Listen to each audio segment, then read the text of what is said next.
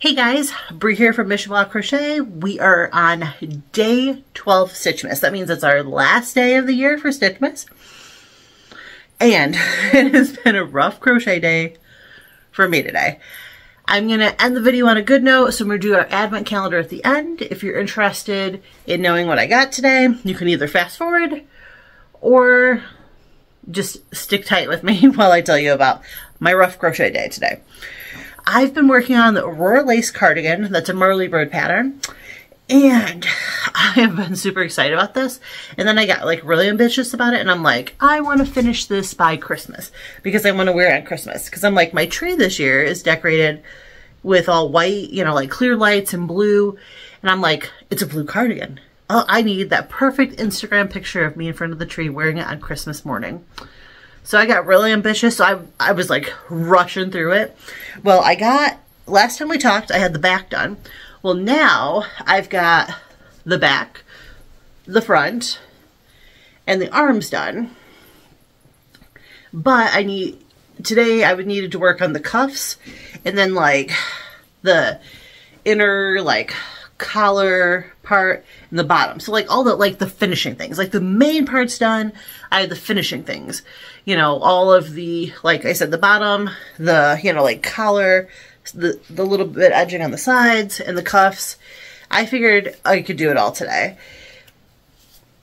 Well, so I mean I still have the rest I have today to get it done, but I figured like between over the you know, like the day before and today, I figured I could get it all done.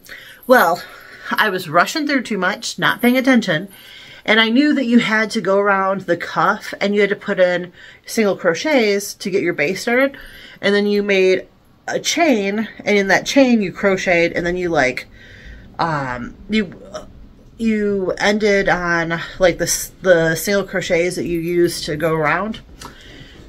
So I misread the directions and I thought they were saying put two stitches in each and I thought, well, that sounds kind of generous, but I really wasn't paying much attention. So I like did them both real quick and then I chose to lay my work out after I had the cuffs done and take a look at it, which was a terrible idea because in the end, I realized the cuffs were like twice the size they should have been. So instead of being, you know, like even like this, they were like belled out and I was like, that is not going to fly. And it's not like I could just frog them back a couple rows and then cinch it in and have it be okay. Because then this part would not be even, you know. Because if I tried to put, like, cinch it in, then this part would be too small and hot mess. So I had to frog them back. So I have this ball of yarn, this ball of yarn, that are all the results of my frogging.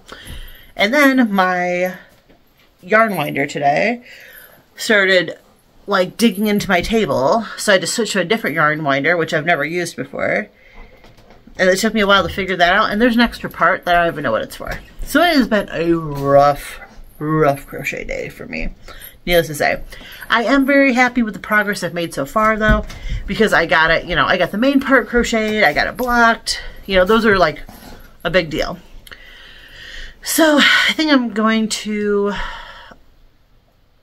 you know, take a little break clear my head, and then come back to it. That, my hands are starting to hurt. Like, I'm just pushing too hard, too fast. And I could be like, I could be probably close to done if I had realized my mistake in the first place.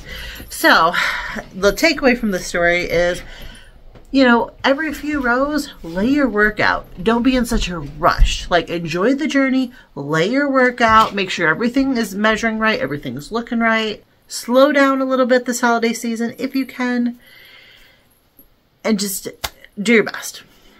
I guess that's the biggest takeaway. You know, pay closer attention and not be in such a rush. You know, because now I've wasted so much energy and time on this sweater. And there was nothing wrong with the pattern. It purely and simple, all me. I made the mistake.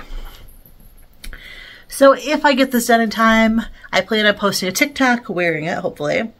If I don't get it done in time, then I'm just going to, you know, I'm just going to allow myself some grace and let it go and wear something different. I mean, we're not, we're staying home this year. We're not going anywhere. So, I mean, I can wear any sweater that makes me happy. So, anywho, let's get into my advent calendar because I want to end this on a good note and I don't want to take up any more of your time. We have day one, which is our last day of our advent calendar. So it's been a fun little journey. Oh, okay, this is a very big bag. Look how big this bag is. And there is this tiny little card. All right, let me, I'm to pre-read this and then I'll share with you what I can. All right, so this might have been like the littlest looking Advent little gift in the biggest package, but this is a huge winner. Uh, with this little coupon, it's going to allow me to get a brand new set of hooks, which I, if you've been watching, you know I've been saying I need a new set. I want to start learning Tunisian, so I want a set of Tunisian hooks, and I want to upgrade my hooks I currently have for something that's more ergonomic. Oh, because I want to be able to crochet faster. So, it says a set of hooks of, of your choice with all the accessories.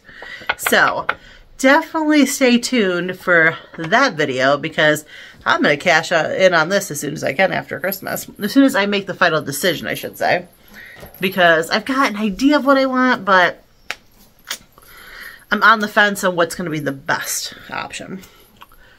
So if you aren't in too much of a rush and you'd like to leave me a comment, I'd like to hear, did you get all your projects done? All of your Christmas projects, all your gifts, did you get them done?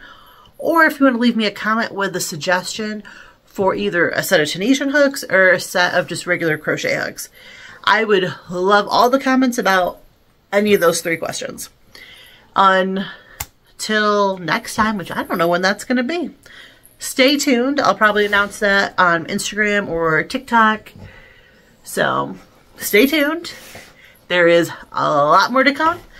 I'm probably going to take a little time off though until after the first. So I'll see you next year. Until then, take care.